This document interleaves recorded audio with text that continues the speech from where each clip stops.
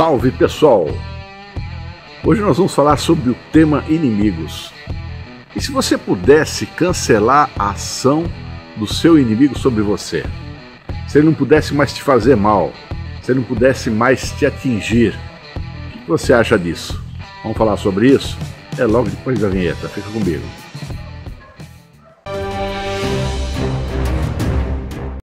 Bom, pessoal, nós temos diversas pessoas que de repente se consideram nossos inimigos e a gente nem sabe. Mas a gente tem uma ideia, né? Agora, o pensamento dessas pessoas ou daqueles inimigos declarados que a gente sabe que tem, por qualquer tipo de situação que nós temos vivido com essa pessoa, mesmo que seja culpa nossa ou não, não importa nesse momento. Eu vou ensinar uma maneira de você bloquear essa ação. Só que você tem que ter um pensamento bastante forte. Olha, não é por acaso aquelas frases, né? É, por exemplo, perdoai os vossos inimigos, mas vencei-os antes. Porque se você não vence o seu inimigo, você deixa ele à vontade no campo de batalha, ele vai te prejudicar com certeza.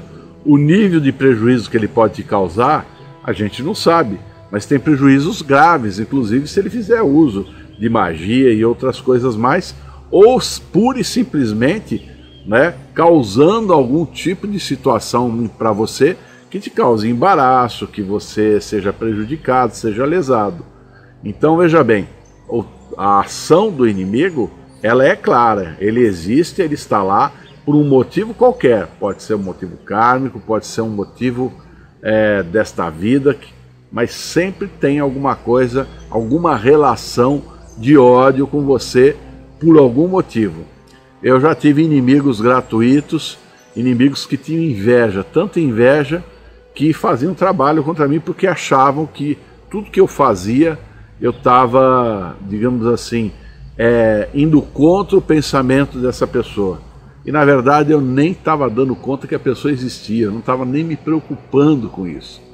Pessoas, essas pessoas que são os seus inimigos, elas são muito mais preocupadas em cuidar da sua vida do que você cuidar da vida de, delas ou qualquer coisa assim.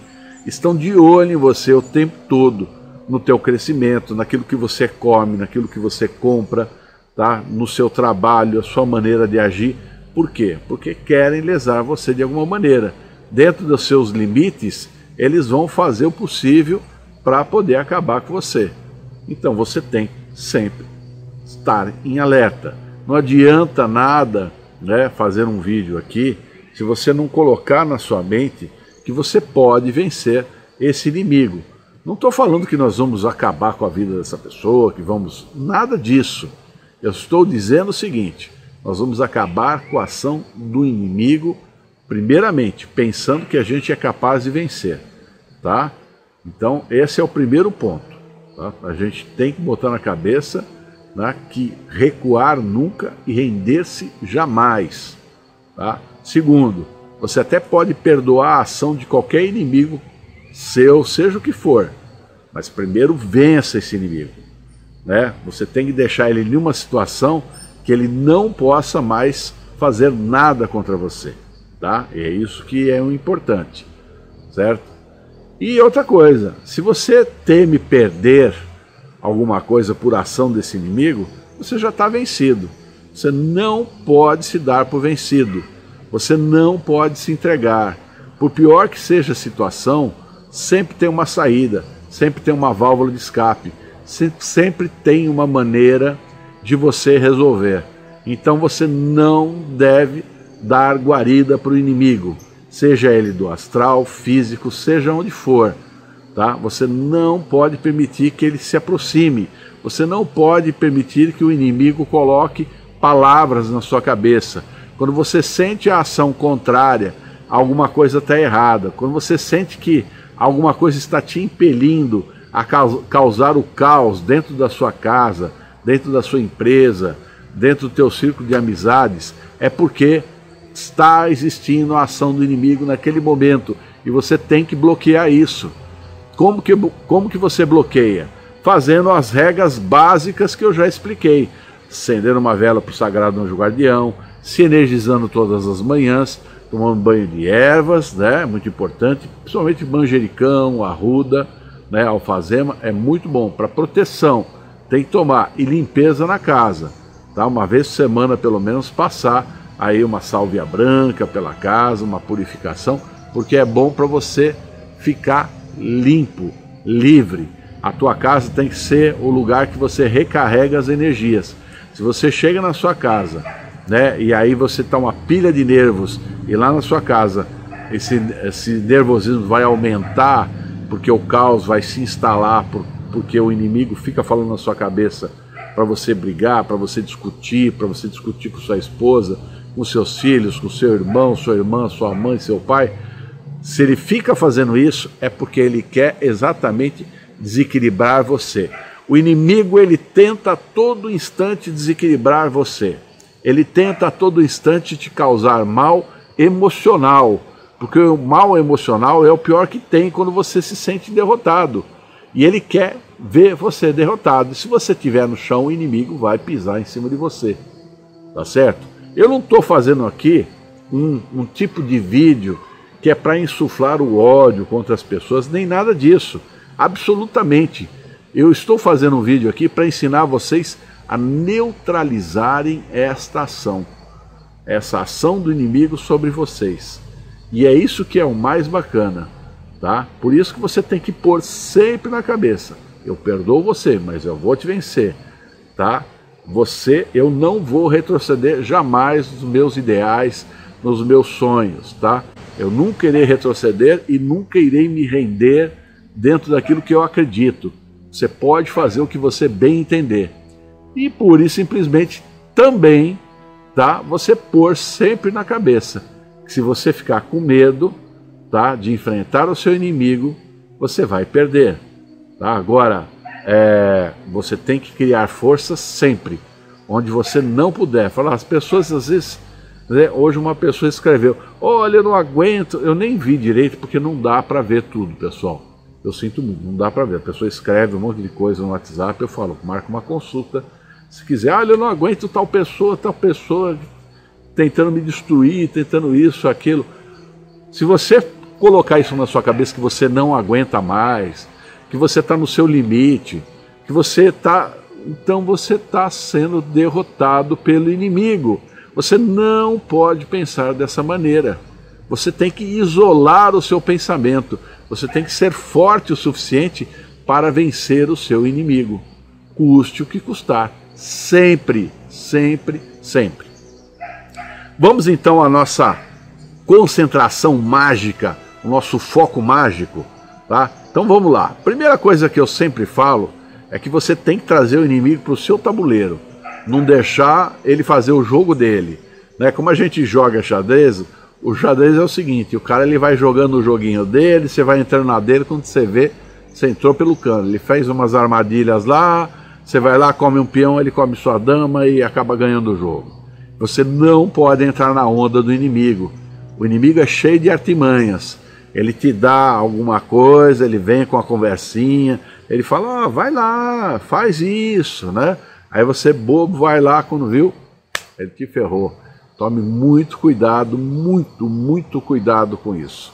Já vi pessoas perderem até empresas tá, por confiar demais nas pessoas.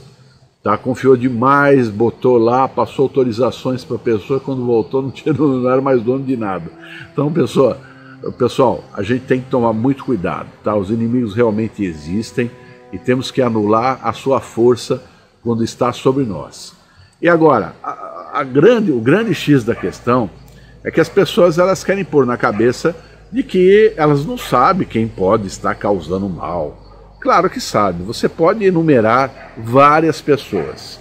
Não importa. Para fazer esse trabalho, vamos enumerar várias pessoas, mas veja bem, pessoas que você considera inimigos, tá? Inimigos.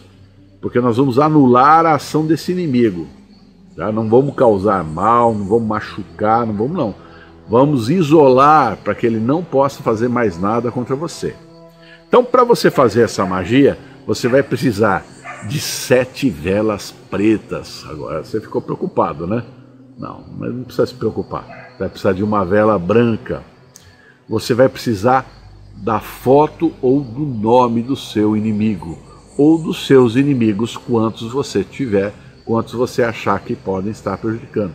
Tem mais de um inimigo? Tenho três inimigos que eu não aguento, eu preciso afastar essas pessoas. Ótimo, três nomes, três fotos. Foto onde eu consigo, Facebook, internet, Instagram, tiro uma foto com o celular, eu não sei. Problema de vocês. Não vem me falar, ah, mas eu não consigo a foto. Não consegue? Consegue sim. Dá um jeito que você consegue. Pede para alguém tirar.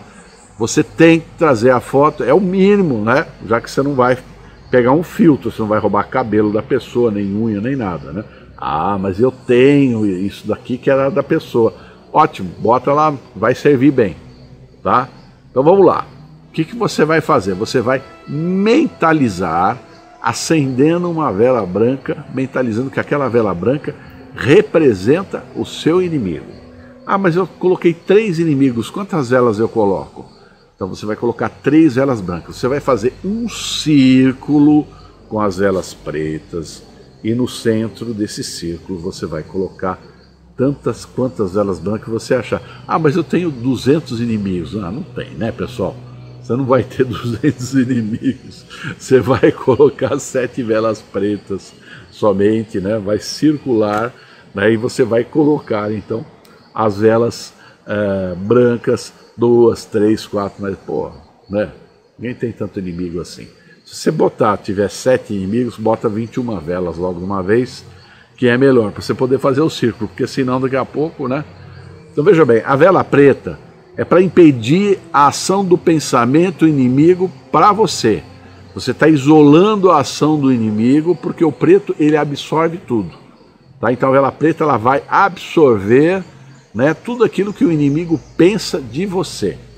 Você vai pegar essas velas, tá? essa vela branca, tá? e você vai pensar em tudo que essa pessoa faz contra você. Você vai acender, ofertar essa vela branca tá? para a proteção dela, para nos dar guarda, para o que você quiser chamar. Você vai ofertar essa vela e você vai colocar essa vela dentro do círculo de proteção.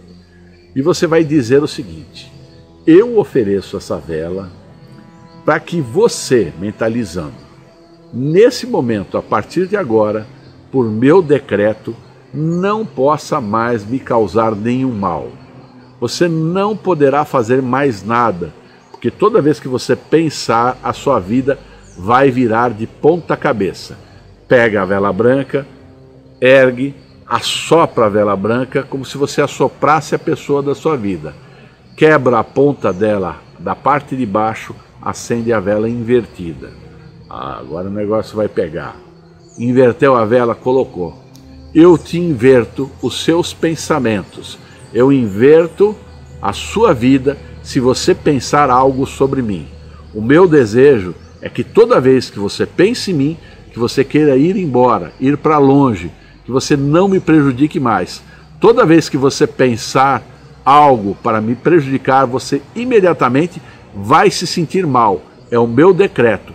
Neste momento, a ação do seu pensamento, das suas magias, das suas forças estão quebradas pelo poder de Deus pelo poder criador, estão absolutamente quebradas. Em nome de Adonai, você não tem mais poder sobre mim. As suas magias são inoperantes, você não poderá causar nenhum mal contra mim. Eu estou bloqueando o seu pensamento, as suas forças espirituais, todos os males que você me causou já não são mais relevantes para mim. Você simplesmente é alguém que eu considero que não existe. E você vai me considerar também como alguém que não existe. Você vai esquecer de mim, você vai pensar que eu não existo.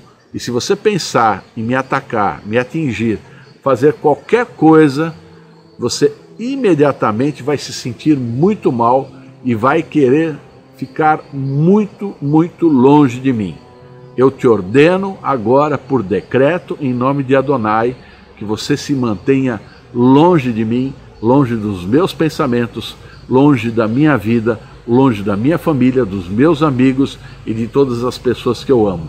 As suas influências estão quebradas. Nesse momento, eu te inverto as suas influências. Você não pode mais sobre mim. E se você insistir, muito mal você vai ficar. E quanto mais longe você estiver de mim, melhor você ficará. Assim seja, assim se faça e assim se cumpra, tá? Aí você faz, terminou, pega essa vela, quebra essa vela e você vai jogar numa água corrente. Vai procurar uma cachoeira, um rio e joga essas velas brancas, tá? E as velas pretas também. Você vai jogar tudo no rio, numa água corrente. É muito importante que você jogue para se desfazer daquilo lá, tá? Quanto mais forte a água, melhor. Joga tudo, vai foto, vai tudo, vai nome, tudo. Tem que ser tudo despachado na água corrente porque você tem que mandar a pessoa embora de vez. Agora pensa que isso aí é para a pessoa ir embora mesmo. Vai e não vai voltar. Tá bom? Então é isso aí, pessoal. Eu espero que vocês tenham gostado. Tá? Eu estou gravando aqui ao vivo, desculpe os barulhos dos cachorros latindo, coisa assim, mas é melhor assim, né? Pelo menos a gente está ouvindo os sons da natureza, né? Para mudar um pouquinho aquela coisa de ficar gravando dentro do estúdio e tudo mais, tá? Ou nas dependências nossas e tal. Então, uma dependência externa para variar. Pessoal, muito obrigado, tá? Espero que vocês tenham gostado. Deixa um like aí pro Mago. E lembro vocês, quem é assinante, confira sua assinatura porque está dando muito problema. Confira a sinetinha. Quem não é, clica, aciona a sinetinha para recebimento de aviso de novas publicações. Tem muita novidade chegando aí, cada vez mais e mais e mais. Nós estamos criativos a 100% e vem muita coisa aí. Tá bom, pessoal? E para quem quiser estudar conosco, tá? Entre para a Irmandade. Vai lá no YouTube, área de membro, torne-se membro, escolha neófito ou aprendiz e você automaticamente faz o seu pagamento. Você já vai se tornar um membro da Irmandade, você vai receber estudos todas as semanas vai ver vídeos, tá? E nós vamos fazer lives elucidativas para tirar as dúvidas dos estudos, tá bom? E iniciações presenciais futuramente quando o problema da pandemia acabar. Certo? É isso aí, pessoal. Um abraço para vocês e até o próximo vídeo. Tchau!